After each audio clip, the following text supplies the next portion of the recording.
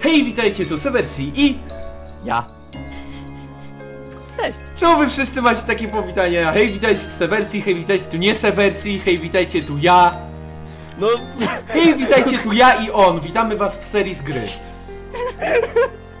zagrajmy w grę. W prawym górnym rogu jest to, co mnie motywuje. E, W lewym górnym rogu to jak wyglądam, w lewym, W lewym, gó- w lewym górnym rogu jest licznik Frapsa, którego i tak nie zobaczą. tu jest pamiętaj, pamiętaj Sewik, gra się myszką. ciastko.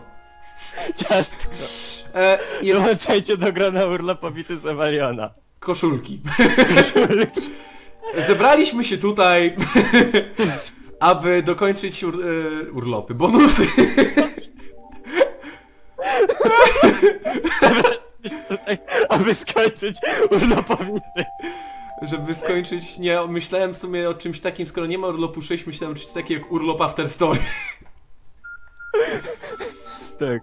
A, po, a potem nie, a potem nie wiem, urlop Tasiors After. After, to urlop after party. To by w sumie pasowało bardziej. Ej, w sumie się, ja się e, zastanawiać powinienem na tym nawet poważnie. U- Urlop after party, tylko nie wiem co by, e, na czym miałoby to polegać. Co to by miało być. To jest dobre pytanie. To jest życie urlopowicze bez urlopu. Jakiś taki motyw by musiał być. Tak, ca całą fabułę opracujmy i nie wiem, może coś z tego wyjdzie. Nie, zebraliśmy się tutaj, aby dokończyć bonusy z Undertale'a. To będzie jeden... Co to Undertale? Nie załamuj mnie, proszę. Mm, Będzie to jeden odcinek, w którym pokażemy zapewne tak. Glida, pierwszego bonus bossa, So Sorry, drugiego bonus bossa i Laboratorium Sansa. Zaś Bal mm, zaoferował się, żeby zrobić, pójść z tym troszkę dalej. Balu, możesz nam powiedzieć, co zamierzasz jeszcze dalej zrobić yy, na Sewalionie z Undertale? Prosta sprawa, jest bardzo dużo rzeczy, które, e, które powiedzmy nie są bezpośrednio związane z, z samą grą jako taką, z e, tym co przechodzimy i widzimy, ale związane z głębszym lorem, czyli chociażby rzeczy ukryte w plikach gry, jakieś teorie. Od razu powiem, od razu po... Od razu powiem tym, którzy pewnie już będą pytać, gdzie Gaster. Gaster będzie właśnie, Bal będzie się zajmował Gasterem pewnie. I po prostu zrobię to tak, że już na spokojnie wszystko wyjaśnię. Z góry mówię, nie oczekujcie, że to się pojawi od razu na dniach, ale obliguję się do tego, że to zrobię i to w miarę szybko. Jasne. Okej, Glide się pojawił. I teraz sobie go czekniemy. Atak wysoki, obrona wysoka i odmawia, aby dać więcej szczegółów o statystykach. Bo to jest taki trochę nadęty, ten potwór. On... Zobacz, spójrz, obserwuj. I obserwujemy atak, który jest trochę w stylu flawayowego ataku. Tego... Mm, no, wiecie którego. Miał takie... Mm, Który jest w stylu, no, no, no właśnie to, no, no. Mhm, mhm, mhm. Y, tak kontynuując temat grania w grę. grania w grę. E, Żeby zdesperować Glide, żeby go, że tak powiem, pokonać pokojowo, musimy pochwalić go raz. Glide wciąga nasze pochwały niczym odkurzacz. Rządzę, przyznaję i to jest atak najbardziej chyba skurczysyński, ale nawet nieźle mi z nim poszło. To już jest dobry prognostyk. W ogóle czym on strzela? Nie mam zielonego pojęcia nawet. E, jeszcze raz go pochwalamy, klapiemy niczym goryl i Glide jest uzależniony od naszej po, naszych pochwał. Co jeszcze mamy do powiedzenia? Że znowu stosujesz ten sakramentalny atak, no. Cholera. Nie mam za dużo przedmiotów leczących, ponieważ... O, Cudownie. Dobra, to już poszło lepiej. Nie mam za dużo przedmiotów leczących, ponieważ żeby spotkać Glide'a nie jestem pewien, czy... Nie jestem nawet pewien, czy można wejść do Snowdin. Na pewno nie, nie można z Papyrusem walczyć. Glide jest coś specyficznym potworem. Jest y, bonusowy, no i jest trudny też z tego powodu, tu nie ma się co dziwić. Ale nie, nie robimy nic i Glide wygląda na rozczarowanego. No ale skoro jest bonusowy, no to mógł chociaż mieć, nie wiem, ten, y, ten hard mode'owy motyw walki. Tak, a- mógłby. To już by było dużo, zważywszy na to, że... Nie, nie wiem jak ty, ale mnie tak trochę ten normalny motyw jednak mimo wszystko znudził. Troszkę. Robimy, nic nie robimy znowu. Halo, jestem tutaj. I ah, jak będziesz robił takie rzeczy, to nic dziwnego, że nie chcę. Ale chyba jeszcze raz. Setka koziołków, żeby przykuć naszą uwagę. Ale Glide się już nami nudzi i szuka gdzie indziej pochwał. Dostajemy 120 zł i to jest cały Glide, to jest cała walka z Glidem. Też on daje więcej e, doświadczenia na Genocidzie, więc e, na przykład można skorzystać ze starcia z Glidem, aby chociażby na walkę z Undyne wejść o poziom wyżej i mieć te troszkę więcej HP. Ale czy to w sumie, bo ja nigdy nie pokonywałem Glida, sprawia, że wchodzi się do walki z Sansem na poziomie 20? Nie. e, Haha, to nie. jest wyliczone. To jest wyliczone, bo dostajesz po walce z Metotem nie ma akurat chyba tyle expa, żeby być na poziomie 19 pewnie. Albo to jest, wiesz, po prostu wszystko skryptowane, nieważne ile dostaniesz te, te, teraz, to wiesz, na walkę z Sansem i tak wychodzisz na 19 i później dostajesz poziom 20 raczej. Mhm. Myślę, że tak to działa. Mm, wiesz, i tak masz 99 HP na walce z Sansem, więc... No. Dobra, drodzy, e, wracamy do was e, na So Sorry i tutaj już ja mówię, że I'm, very, I'm so sorry, że to będzie takie toksyczne, bo jak mówię, Glida nagrywamy po raz drugi, ponieważ e, w poprzednim nagraniu przebija się moja wyraźna niechęć do, do wszystkiego, a co Undertale'owe. Trochę, prze, Przygotujcie się na to psychicznie, to będzie dobre. trochę przerwy i już ten komentarz mój jest dużo lepszy. Mój odczuwam, że też jest trochę lepszy. O, samozachwyt. Jest wszystko ok, jest wszystko fajnie, ale do Sorcery akurat ta toksyczność pasuje. I idziemy teraz od razu robić laboratorium. Sansa, co będzie ostatnią rzeczą już ode mnie z Undertale na tym kanale, bal się dopiero rozkręca. Oj, tam, że się rozkręcam. Słuchaj, to nie jest tak, że ja, y, nie wiem, mam cierpliwość, żeby jeszcze nad tym siedzieć nie wiadomo ile. Po prostu uważam, że to powinno być zrobione i chcę to zrobić jak najlepiej. Okej. I jestem Ci za to jak jasna cholera wdzięczny i myślę, że widzowie też będą. Także widzimy się już przy e, So Sorry. ZW!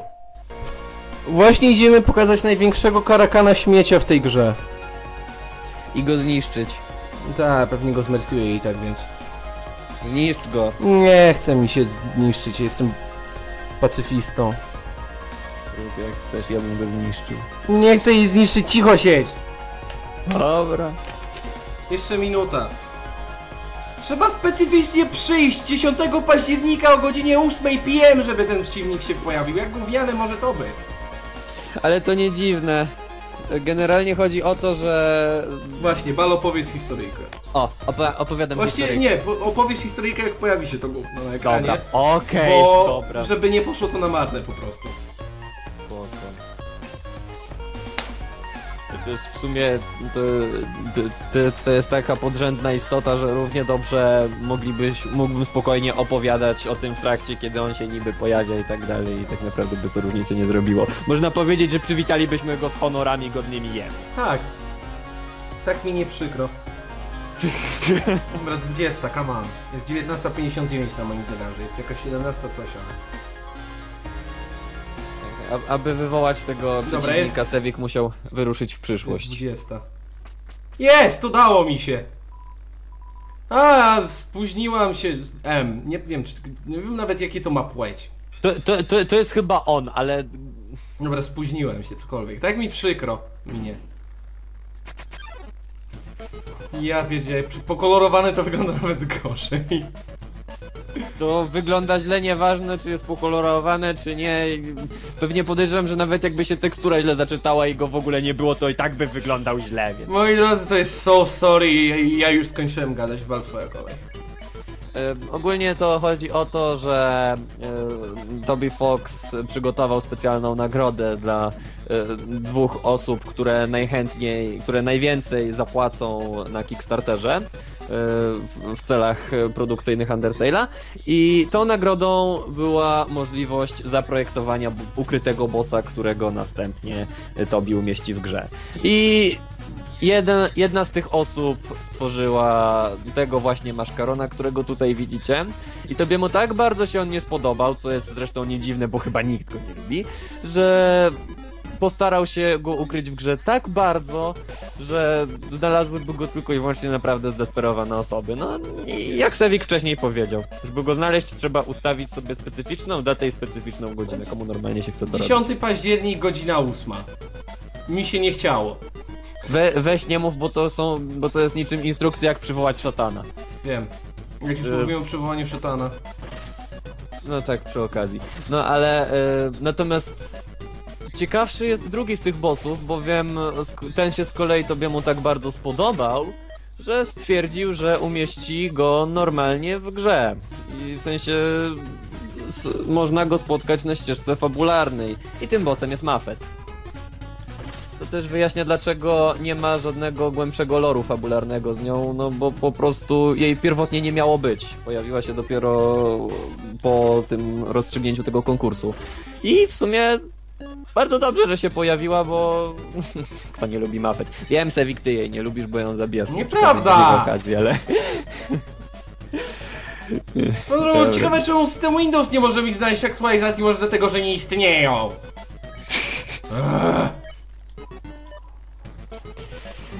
No i jeszcze czego? Spokojnie, spokojnie. O mój Boże. Nie przypominaj mi nawet, ja to muszę kiedyś dokończyć i nawet mam to zapisane w planach. No, obiecujesz różne serie. Jeszcze teraz?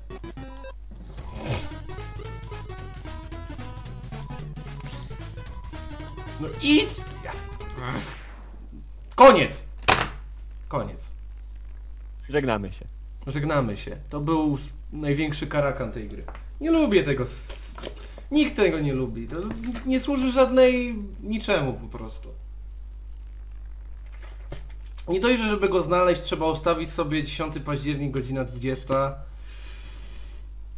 I mam wszystko w systemie spieprzone pewnie przez to.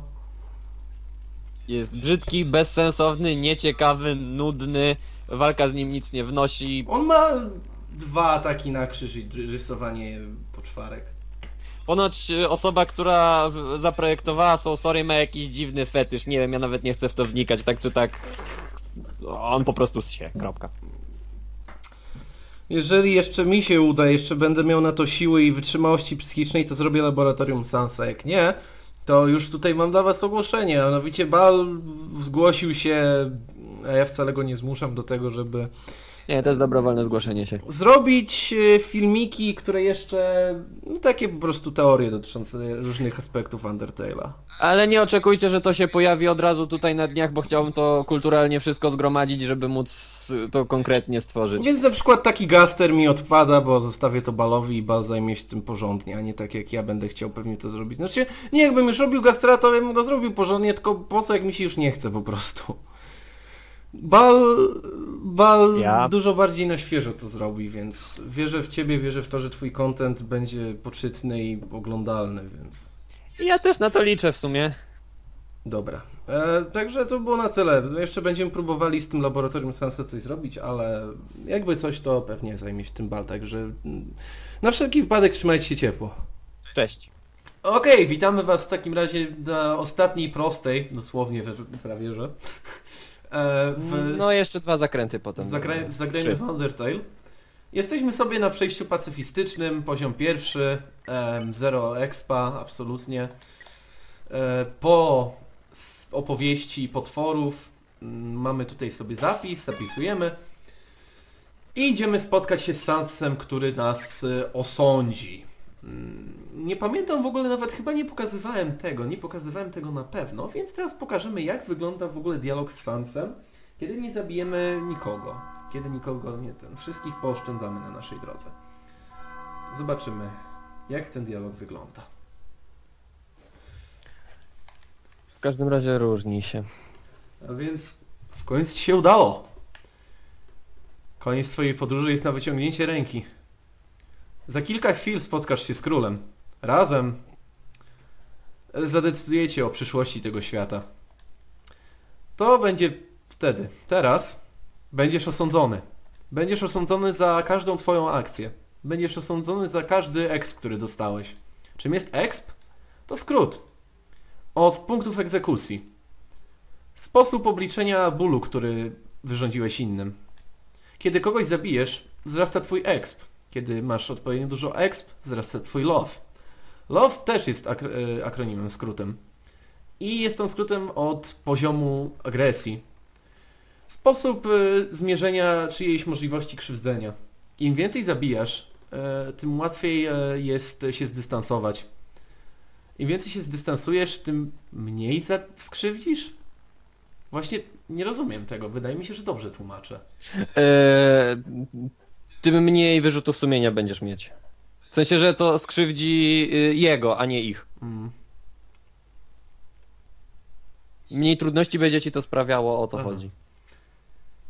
Mm. Im łatwiej, tym łatwiej e, jest e, się, jest się sprawić do tego, żeby krzywdzić innych.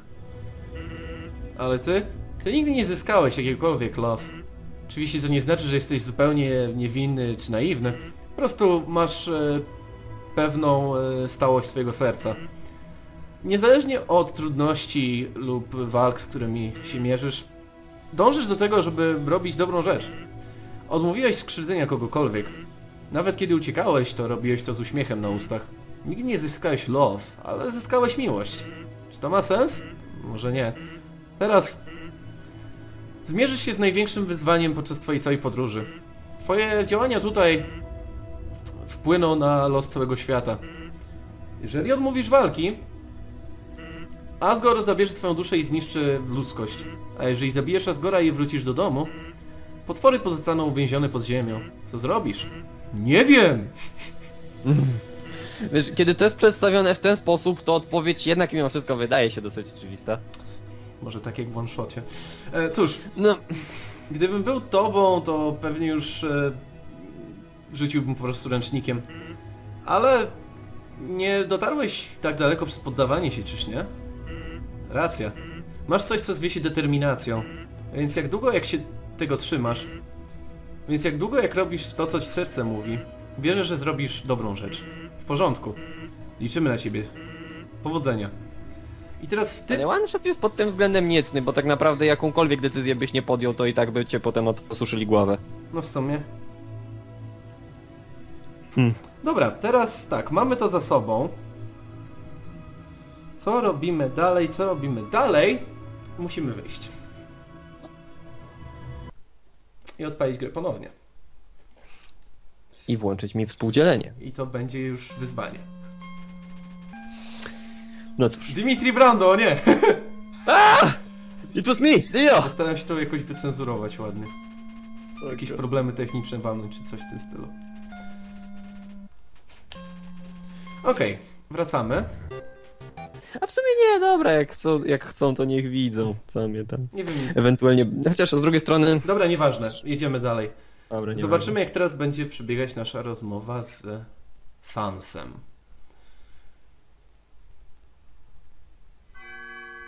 Dzwony brzmią trochę inaczej nawet. Brzmią trochę inaczej. Dobrze wiedzieć. Dobra, to już było. To już było, to było. Mhm.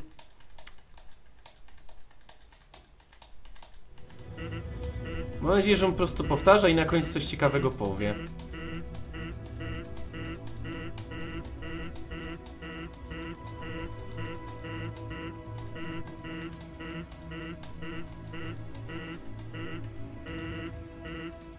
Czekaj chwilę. Te, ten wyraz twarzy, kiedy ja mówiłem, już to słyszałeś, czyż nie? Podejrzewałem, że to się stanie. Zawsze zachowujesz się, jakbyś wiedział, co się stanie. Jakbyś już to wcześniej widział. Więc mam do Ciebie prośbę. Mam takie sekretne hasło, które tylko ja znam. Więc jeżeli... E, więc... E, wiem, jeżeli, że jeżeli ktoś powie, to musi być podróżnikiem w czasie. Szalone, prawda? W każdym razie, oto one. Liczę na ciebie, abyś wrócił tutaj i mi je powiedział. Do zobaczenia. Okej, więc e, tu już mamy zmianę i musimy znowu wyjść. I znowu mnie wywaliło, ale co tam? No tak musi po prostu. No wiadomo. Ja się o to nie rzucam. Cieszę się. Dlaczego bym miał? Mhm, w sumie. Dobra, i wracamy.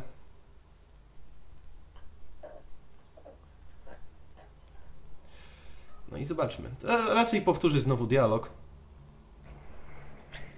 Chyba nie. Za trzecim razem już chyba tego nie robi.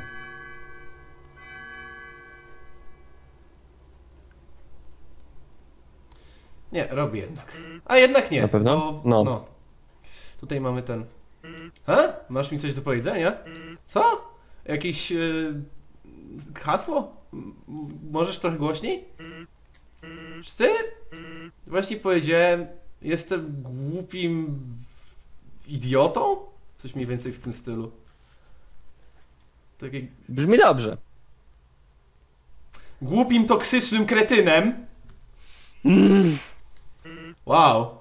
Nie wierzę, że mógłbyś to powiedzieć. Nie tylko jest to zupełnie niedojrzałe, ale jest to moje sekretne hasło. To jednak nie wystarczy. Czego potrzebujesz to sekretne, sekretne hasło. Tylko dla ludzi, którzy znają sekretne hasło. W każdym razie oto one. Liczę, abyś wrócił tu i mi je powiedział. Do zobaczenia. Więc jeszcze raz. Tak sobie nie było za łatwo.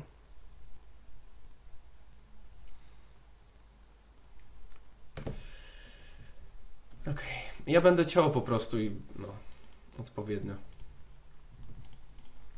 Tak Mi się wydaje. Albo, nie wiem, zobaczymy jak to wyjdzie, cokolwiek. Ważne, że grunt, żeby pokazać to, co najważniejsze. Mhm. Okej! No. Podejście czwarte. I łby obdarte. ho. Ho, ho, ho. Okej. Ding, ding, ding. Dobra, to już wiemy. Wiemy już, że dzwony. A, masz mi coś do powiedzenia? Co?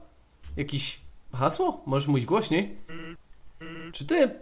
Właśnie powiedziałem, jestem legendarnym mistrzem pierdów? Wow. To jest e, naprawdę dziecinne. Dziecinada. Czemu? Skąd miał, mógłbyś e, myśleć, że to jest sekretne, sekretne hasło? Ktokolwiek ci to powiedział jest okropnym kłamcą. Nie mam sekretnego, sekretnego hasła. Jednakże Mam e, sekretne, sekretne, potrójnie sekretne hasło, które właśnie powiedziałeś. Więc chyba się kwalifikujesz. To jest klucz do mojego pokoju. Czas w końcu, abyś dowiedział się prawdy. I tu już się zaczyna. I klucz został nam doczepiony na łańcuszek. E, mimo tego, że nie było w sumie kiedy tego zrobić. No, mamy go tutaj nawet nie widać w sumie, po prostu już go mamy. Okej, więc teraz drałujemy sobie do Snowdin. I nie wiem, czy będę chciał to jakoś wycinać, czy coś, dlatego... Balun! Ja! Czy jest coś ciekawego, co może zapomniałeś powiedzieć, co chciałeś powiedzieć, a co chciałbyś powiedzieć teraz? Zastanawiam się, czy masz coś takiego do powiedzenia. Ym, przychodzi mi do głowy chociażby jedna rzecz, mianowicie taka, że... y, mm, znaczy, z rzeczy, których, y, które mogę powiedzieć już teraz i y, nie będę musiał ich pokazywać tam już potem, jak będę sam nagrywał, to jeśli ktoś jeszcze nie wiedział, to przy tej budce z hot dogami Sansa w Hotlandsach, e, nawet jeśli ekwipunek jest pełny, możemy go dalej prosić o hot dogi i on zacznie je nam kłaść na głowie, aż rośnie nam taka wysoka wieża, która e, będzie, co ciekawe, nawet działa względnie zgodnie z prawami fizyki i będzie się przechylać, jak będziemy chodzić. Względnie zgodnie. Względnie zgodnie, no bo wyobraź sobie taką wie- wieżę kubusiowych paróweczek na głowie. Dobra, teraz to się chyba szło do windy. Windą na pierwsze piętro, z pierwszego piętra do łódki i z łódki już prosto do Snowdin.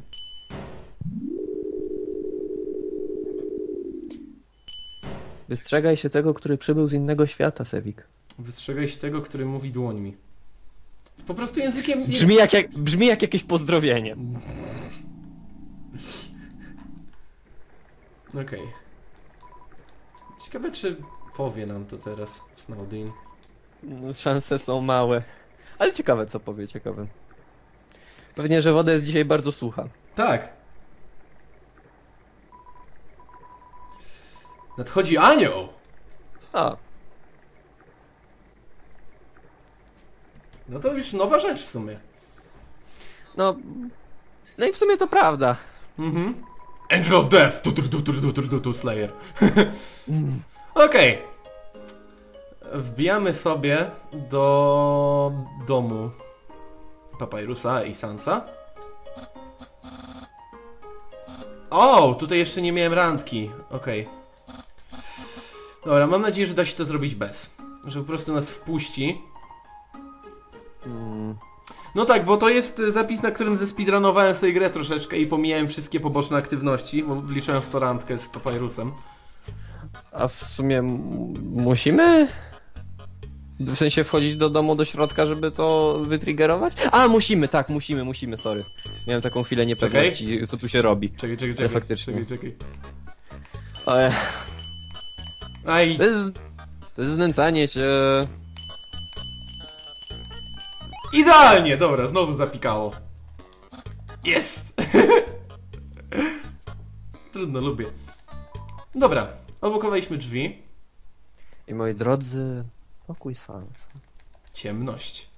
Pora przekonać się nareszcie, co takiego tak naprawdę się tutaj znajduje. Musimy dowiedzieć się całej prawdy. Odkryjemy sekret najbardziej tajemniczej postaci, jaką spotkaliśmy w tej grze. Niedługo wszystko będzie jasne. Tu jest już na wyciągnięcie ręki. Well. Ej, Sans, widziałeś moje... O, cześć, nie jesteś Sansem. Czekaj chwilę. Czemu używasz jego bie... bieżni w ciemnościach? Czy Sans y, robi żarty poprzez czasoprzestrzeń? Nienawidzę, kiedy to robi. Jak można być tak niedojrzałym? A w ogóle widziałeś gdzieś moje figurki? Czekaj, wiem gdzie szukać. W mojej kolekcji? Nie. Czasami jestem geniuszem. Zawsze. Tak bardzo. Eee, niestety, E, prawda jest taka, fajne- że zostałeś skasowany, nerdzie.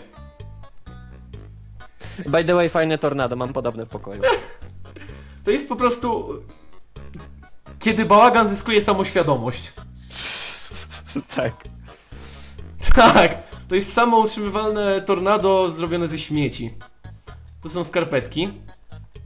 Które jakimś cudem jednak znajdują się w pokoju. Swoją drogą ciekawe, czy jest ich parzysta ilość. E, nie. To jest e, nieprzykryta poduszka. E, list z podziękowaniami do Mikołaja. E, parzysta ilość pewnie, że nie. Jest... Znaczy, parzysta...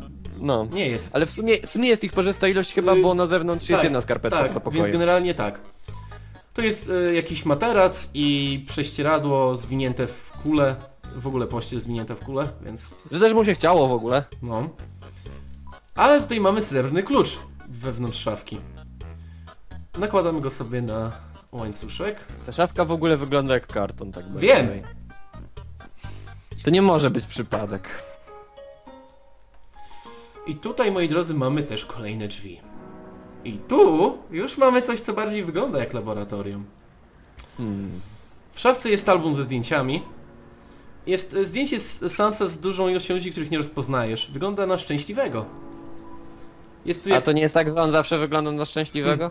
jest tu jakaś odznaka, e, jakieś schematy, nie możemy odczytać symboli, albo to jest po prostu takie pismo. Odnoszę się do jakiejś dziwnej maszyny. Właśnie wydaje mi się, że tutaj w wersji, którą gram, teraz powinien być tu chyba jakiś inny napis. Jakoś.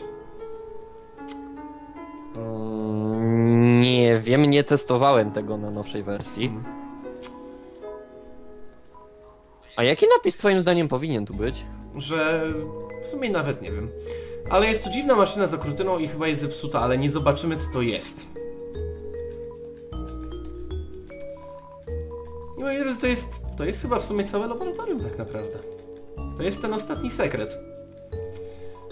No, o, na podstawie którego możemy robić mnóstwo teorii. No chwilowo nie za bardzo cokolwiek to mówi, ale, ale jeśli ktoś nie wie o co chodzi, to nie bójcie się, to jeszcze zdąży mieć więcej sensu potem, więcej sensu. Swoją drogą, zauważcie, mm, wchodzimy sobie przez e, tył, wychodzimy przodem. Wychodzimy przez te drzwi. To ciekawe. I na pewno nieprzypadkowe znając zamiłowania Sansa do zabaw z czasem i przestrzenią. No, No ale to różne teorie można snuć już prawie zacząłem, ale nie chcę zaczynać. a, Bo... jeszcze byś się wciągnął, co by było. Moi drodzy, i to było na tyle, jeżeli chodzi o Zagrajmy w Undertale i Bossy. Zostały tak naprawdę rzeczy, które Bal omówi, ale Także w tym momencie już Sewika e, żegnamy definitywnie w tej serii. pewnie. To jest tak, ja byłem... Teraz ja ją przejmuję, ślijcie pieniądze. Ja, ja byłem sam, później przed Bal i teraz ja zostawiam Bala, żeby dokończył dzieła. Także to by było na tyle, moi drodzy. Eee, grał na was Sebesi i współkomentował. Bal! Trzymajcie się ciepło. Cześć!